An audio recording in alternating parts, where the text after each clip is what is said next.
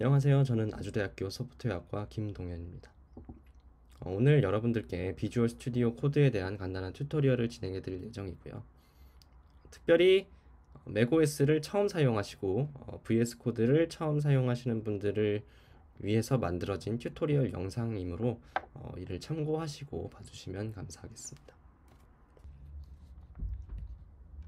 자, 어, 오늘 영상은 어, VS Code라는 것도 처음 사용해 보시고 어, macOS도 처음이신 분들이 보시기에 편하게끔 구성이 되어 있다는 것을 참고해 주시면 감사하겠습니다. 자, 그래서 VS Code라는 게 뭘까요? 어, VS Code는 어, 마이크로소프트사에서 개발한 텍스트 에디터입니다. 어, 그냥 봤을 때는 Visual Studio나 뭐 PyCharm 이런 것들과 뭐가 다른가 싶으실 수 있을 텐데요. 어, 기본적으로 텍스트 에디터이기 때문에 디버깅, build 이런 것들이 다 빠져 있는 상태로 배포가 됩니다. 어, 그렇기 때문에 뭐 워드 프로세서나 메모장과 더 비슷하다고 보시면 되고요. 부족한 부분들은 extension이라고 하는 기능들을 통해서 여러분들이 추가로 설치해서 사용을 하시면 되는데요. 이 부분은 뒤에 자세하게 다뤄보도록 하겠습니다. VS Code는요, 어, 2015년 11월 오픈소스 라이선스인 MIT 라이선스 하에 배포가 시작이 되었습니다. 그렇기 때문에 여러분들도 GitHub에서 쉽게 소스 코드를 찾아보실 수가 있고요. 어, 2016년에 정식 버전이 발표가 되었습니다. VS Code에서 지원하는 언어로는요. TypeScript, JavaScript, CSS, C++, C#, Visual Basic, .NET, HTML 등등등 굉장히 많은 언어를 지원을 하고요. 어, VS Code 자체는 TypeScript와 JavaScript, HTML, CSS를 통해 개발이 되었다고 합니다. 어, 사람들은 왜 VS Code를 쓰는 걸까요? 어, 오른쪽의 사진은 2021년 Stack Overflow에서 전 세계 개발자들을 대상으로 한 어, 설문조사입니다. 어떤 IDE 혹은 텍스트 에디터를 쓰시나요? 라는 질문에서 어, 비주얼 스튜디오 코드가 71%라는 압도적인 점유율을 기록하고 있는 것을 확인하실 수가 있습니다. VS 코드를 사용하게 만드는 장점 중에는요, 어, 쉬운 사용 환경 동기화. 어, 이게 무슨 말이냐면 이제 여러분들이 어, 여러 컴퓨터를 사용을 하시더라도 계정을 통해서 어, 개발 환경에 대한 동기화가 쉽게 이루어질 수 있게끔 되어 있고요. 어, extension이라고 어, 잠시 뒤에 다시 설명을 드리겠지만 어, 부족한 기능들 혹은 필요한 기능들을 여러분들이 App Store 같은 개념으로 새로 설치를 해서 사용하실 수 있다는 장점이 있습니다. 여러 환경과 언어를 지원하는데요. 어, 방금 전에 보셨던 것처럼 굉장히 많은 어, 개발용 언어를 지원을 하고요. 그리고 어, 여러 환경이라는 얘기는 어, 저 같은 경우에 이제 윈도우 컴퓨터와 어, 맥킨토시 컴퓨터 그리고 Ubuntu Linux에서 모두 같은 프로그램을 설치를 해서 같은 개발 환경을 구성을 해서 사용을 하고 있기 때문에 어, 굉장히 확장성이 좋다 이렇게 보실 수가 있습니다. 어, 그리고 기본적으로 텍스트 에디터 기반이기 때문에 프로그램이 굉장히 가볍습니다. 그렇기 때문에 어, 요구 사항 양 소, 요구 사양도 그렇게 높지는 않고요. 어, 여러분들이 어, customizing해서 쓰시는 거에 따라 다르겠지만 굉장히 안정적으로 쓰실 수 있다는 장점이 있습니다. 어, extension이라는 거에 대해서 소개를 좀 드릴 건데요. 어, 여러분들이 필요한 기능은 그때그때 어, extension 이제 marketplace라고 있는데요. marketplace에서 App Store와 같이 어, 유용한 기능들을 어, 제공하는 extension을 깔아서 사용을 하시면 됩니다. 어, 제가 오늘 어, 한 다섯 가지 정도를 소개를 해드리려고 하는데 어, 기본적으로 어, 테마에 대해서 이렇게 설명을 드릴 거고요. Code Runner라고 이제 여러분들이 VS Code를 통해서 만든 코드를 VS Code 자체에서 돌려볼 수 있게끔 해주는 extension이 있고요. 어, Prettier라고 이제 code formatter인데요. 어, 코드를 여러분들이 뭐 탭이라든지 스페이스바 간격 이런 것들을 어, 그냥 대충 하셔도 어, 자동으로 어, Prettier라는 extension이 코드를 보기 좋게 만들어주는 기능을 가지고 있습니다.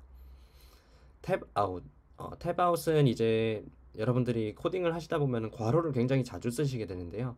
어, 그럴 때 괄호 밖으로 빠져나오려고 이제 뭐 방향키를 쓰신다거나 마우스를 쓰신다거나 하는 귀찮음이 있는데 어, 이거를 탭 키를 클릭함으로써 할 수 있게끔 해주는 어, 좋은 기능을 갖고 있는 extension이고요. 어, 마지막으로 WakaTime이라는 extension입니다. WakaTime은 여러분들께서 어, Visual Studio Code를 통해서 얼마나 많, 많은 시간 개발을 했고 어, 떤 프로젝트에서 개발을 했는지 이런 것들을 어, 통계를 보여주는 extension입니다. 오늘 이 동영상에서는 어, 맥 OS에서의 설치를 안내합니다. 유닉스 기반 운영 체제이고요. 어, 2022년 6월 현재 최신 맥 OS는 12.4입니다. 인텔 CPU가 아닌 ARM 기반 M1 맥 기준으로 설명을 드릴 거고요. 어, 인텔 기반 CPU와는 초기 설정법이 아주 약간 다른 부분이 있으니까 어, 참고를 해주시면 되겠습니다. 아예 처음 사용하시는 분들을 위해서 만들어진 튜토리얼이다 보니까 어, 홈브류라고 하는 패키지 관리자를 설치하는 것부터 시작을 할 예정입니다. 어, 홈브류는 맥OS 전용 패키지 관리자이고요. 어, 리눅스에서 APT와 비슷한 역할을 하신다고 보시면 됩니다. 어, 그리고 이 역시 여러분들께서 어, 보시는 URL을 통해서 쉽게 다운로드를 받으실 수 있습니다. 자, 그럼 지금부터 어, 제가 직접 설치를 여러분들과 함께 진행을 해보도록 하겠습니다. 어, VS 코드를 처음부터 설치하는 방법에 대해서 튜토리얼을 진행하도록 하겠습니다. 어, 일단 저는 제 기본 사용하는 맥북에는 이미 환경 구성이 다 되어 있기 때문에 어, 이 버추얼 머신을 이용해서 설명을 드리도록 하겠습니다. 우선 사파리를 켜주시고요. 여기서 브류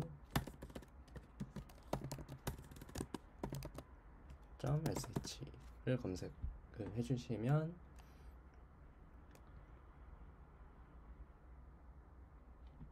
방금 전에 보신 그 홈브류 홈페이지를 보실 수가 있고요. 그래서 한국어로 바꿔주시면 조금 더 편하게 설치를 하실 수가 있습니다. 이제 여기에서 이 설치하기 주소를 복사를 하신 다음에 런치패드를 눌러주시면 이제 설치되어 있는 어플리케이션들이 나오는 화면이 나오고요. 이 기타의 터미널을 눌러주시면 그 리눅스에서 사용하시던 명령어가 그대로 다 쓸 수 있는 그, 어, 그 터미널이 나오게 됩니다. 여기서 방금 복사한 걸 붙여넣기 해주시고 관리자 권한이기 때문에 비밀번호를 눌러주시면 Homebrew 설치가 시작이 됩니다.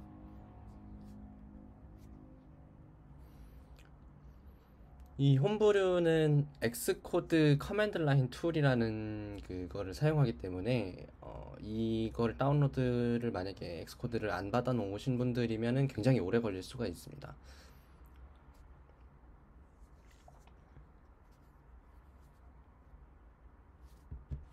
그러면 설치가 되고 다시 돌아오도록 하겠습니다.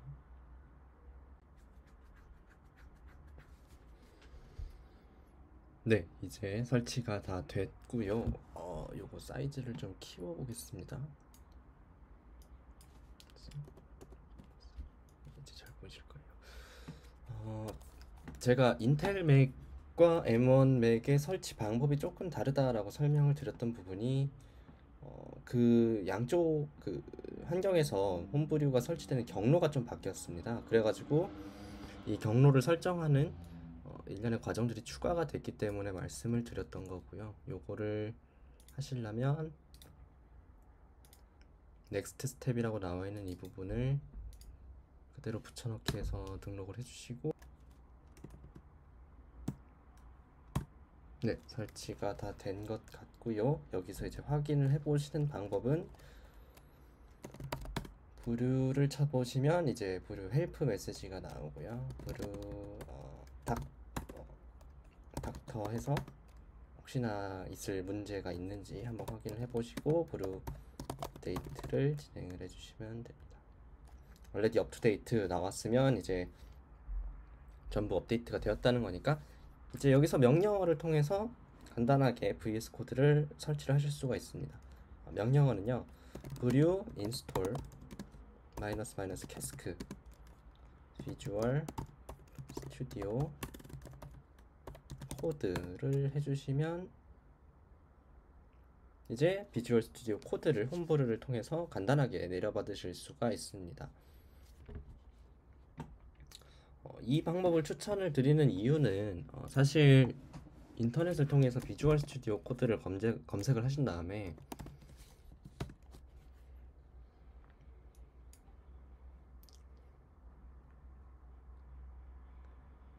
그 홈페이지에서 DMG 파일을 받아서 설치를 하셔도 됩니다. 그게 더 편하실 수도 있어요. 그런데 다만 홈브류를 통해서 설치하는 방법으로 알려드리는 이유는 여러분들이 이제 홈브류를 굉장히 자주 사용을 하시게 될 겁니다. 맥 OS를 사용을 하시다 보면은 어, 그러면 이제 모든 프로그램을 홈브류를 통해서 관리를 해야 어, 이 관리를 해야 프로그램을 수정을 하고 뭐 리스트를 보고 뭐 삭제를 하고 이런 부분들이 훨씬 편해지기 때문에 저는 어, 웬만해서는 모든 어플리케이션을 홈브루를 통해서 설치를 하는 것을 선호를 하는 편입니다. 여러분들도 편하신 대로 하시면 됩니다. 이 부분은.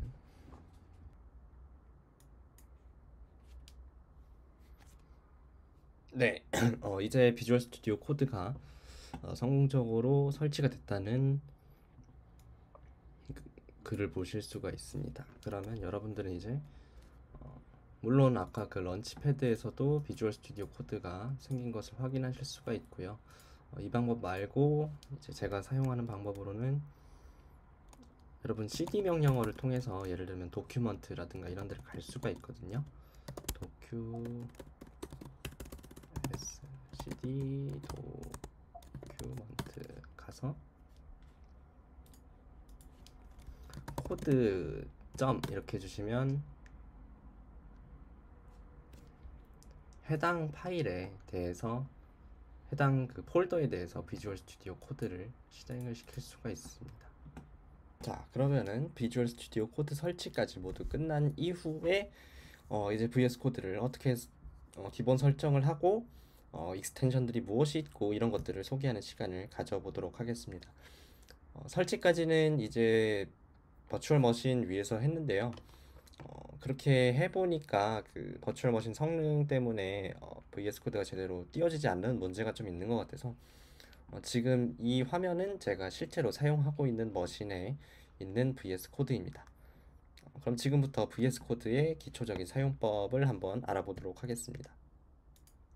아까 설명드렸던 것처럼 이거는 이제 제가 쓰는 터미널인데요. 어, clear하고 원하는 폴더에 가서 코드 점 하게 되면은 이제 해당 코드 해, 해당 그 폴더에 어, 작업 영역으로 띄워진 VS 코드가 나오게 됩니다. 이제 기초적인 사용을 한번 해보도록 하겠습니다. 어, VS 코드에서는 어, 모든 것들이 제이슨 파일을 통해서 어, 설정이 진행이 되는데요. 어, 제이슨 파일 말고도 어, 그래픽적으로도 설정을 진행할 수 있기 때문에 어, 처음 사용하시는 분들도 어렵지 않게 설정을 찾으실 수가 있게끔 되어 있습니다. 어, macOS 기준으로 command Shift P를 누르시면 어, 보시는 바와 같이 명령 팔레트, 에디터에 있는 모든 명령에 접근할 수 있는 팔레트가 나오게 됩니다. 여기서 어, 단축키 몇 가지를 설명을 드릴 건데요. command P를 누르게 되면은 어, 파일이나 어, 기호를 탐색할 수 있는 창이 뜨게 되고요. 커- 그 이외의 명령어들은 여러분들께서 사용하시면서 찾아보시면 될 것 같습니다. command Shift P를 누른 다음에 command P를 누르고 물음표를 누르면 여러분들이 어떠한 명령어를 사용하실 수 있는지에 대해서 나오기 때문에 필요하실 때 찾아보시고 사용하시면 되, 됩니다. 그래서 가장 먼저 테스트할 만한 C 언어 파일을 한번 열어보도록 하겠습니다. command P를 누르고 test.c를 누르면 제가 미리 작성해 놓은 파일이 있는데요. printf 뭐 Hello World 정도 해볼까요? 이렇게 설정을 해주시고 아래에 보시면 터미널을 열 수가 있게 되어 있습니다. 그렇기 때문에 어, 여러분들 다른 리눅스나 이런 데서 하셨던 것처럼 cc test.c 해서 뭐 아웃풋 파일 a.out 만든 다음에 a.out을 실행하셔도 되고요. Hello World가 나왔죠. 아니면 저는 이제 extension 중에 Runner라는 게 있는데 요거는 추후에 설명을 드리도록 하겠습니다. 그걸 깔아 놓으셨으면 이런 식으로 그냥 run code 하시면 실행이 되게 됩니다. 상태 표시줄이라고 하거든요. 이 아래쪽 부분을 부분을 command Shift M을 누르게 되면은 이 부분이 나왔다가 들어갔다가 하는 부분을 보실 수가 있죠. 그래서 이게 지금 workspace에서 무슨 문제가 있는지 출력, 뭐 debug console, 터미널, Jupyter 이것도 Jupyter도 되긴 하는데 이제 이거는 extension이기 때문에 오늘 설명에서는 하지 않도록 하겠습니다. 여기서 이제 다시 command KM command KM을 누르시게 되면은 여러분들이 음,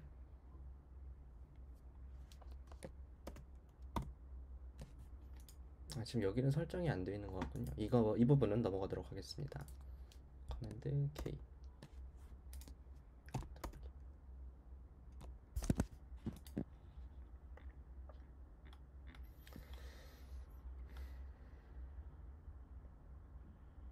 단축키의 경우에도 여러분들께서 설정을 하실 수가 있는데요.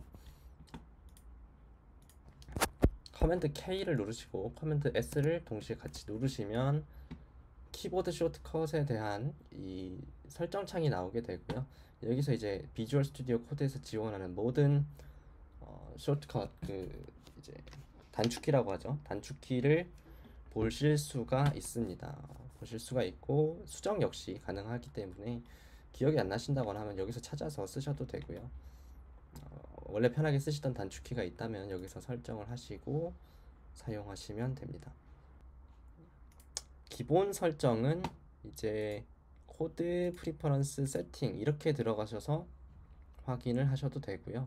아니면 단축키가 있습니다. 커맨드랑 쉼표, 쉼표를 같이 눌러주시면 설정창으로 들어오실 수가 있고요. 어, 이제 제가 바꾼 설정 앞에는 이렇게 파란 줄이 뜨게 됩니다. 제가 바꾼 설정은 여기 비주얼 스튜디오에서 사용하는 font family를 바꿔주었고요. 네이버의 D2 코딩이라는 폰트죠. 그리고 폰트 사이즈도 바꾸실 수 있고, 음, 그리고 주로 바꾸시는 게 code formatter. 이제 extension에서 설명을 드릴 건데 그거를 사용할 건지 말 건지에 대한 부분도 어, 여러분들이 여기서 바꾸실 수가 있고요. extension에서 어, 그 extension을 가, 각각을 어떻게 설정할지도 여기서 다 설정이 가능하시고 보통 터미널에서도 저는 이제 터미널의 폰트와 뭐 이런 것들을 따로 바꿔 주었습니다. 물론 여기도 JSON 파일로 수정도 가능하다는 것을 알아주시면 도움이 되실 것 같습니다. 자 이제 확장 프로그램 extension으로 넘어가 보겠습니다. 총 한 다섯 가지 정도 extension을 제가 유용하게 스, 사용하고 있는 것들을 설명을 드릴 예정이고요. 보시면 여기 install 어, 이제 제가 깔아서 사용하고 있는 extension들이 보이고 아래는 recommended 해서 어, 프로그램상에서 추천하는 extension들이 있습니다. 어, 가장 먼저 제가 아까 발표 자료에서 설명을 드리겠다고 했던 extension이 테마였죠. 그럼 테마를 한번 보도록 하겠습니다. 테마는 저는 지금 Atom One Dark 테마라는 걸 사용을 하고 있고요. 327만 어, 회 정도 다운로드를 받았고 별표를 별 5개를 받은 extension인 것을 확인하실 수가 있고요. changelog나 뭐 runtime status, detail 이런 것들도 아래쪽에 확인이 가능하시고 어, 테마 같은 경우에는 뭐 따로 특별히 설정해 주실 필요가 없고요. 어, 설치 install을 누르신 다음에 set color theme 이걸 누르시고 여기서 이제 이 테마를 누르시면은 지금 보시는 이 색감과 어, 이런 구성들이 Atom One Dark 테마인 것을 확인하실 수가 있고요. 어, 이거 말고도 왼쪽에 보시면 뭐 Community Material Theme 이런 것들도 있는데 이건 여러분들 취향껏 어, 설정을 하셔서 사용을 하시면 될 것 같고 저는 개인적으로 이 친구를 어, 선호하기 때문에 이걸로 해놓고 넘어가도록 하겠습니다. 자 다음 extension은 Code Runner입니다. 어, Code Runner를 하기에 앞서서 여러분들은 어, 이제 아무것도 안 깔려 있으실 텐데요. VS 코드는 텍스트 에디터기 때문에 코드를 디버깅하고 코드를 돌리는 기능은 완전히 다 빠져 있는 상태로 어, 시작을 하시게 됩니다. 그렇게 되면은 어, 제가 아까 사용하면서 보여드렸던 뭐 자동 완성 기능이라든가 뭐 printf를 P R I까지만 치면은 엔터 치면 나오는 이런 기능들이 없기 때문에 여러분들께서 extension을 통해서 따로 깔아주셔야 됩니다. 그런 부분들은 뭐 C 언어는 C, C++ 뭐 마이크로소프트에서 만든 extension을 깔게 되면은 어, including IntelliSense, debugging 이런 것들이 있죠. 이런 것들을 이제 사용을 하실 수가 있게 되는 거고요. extension pack도 있고요.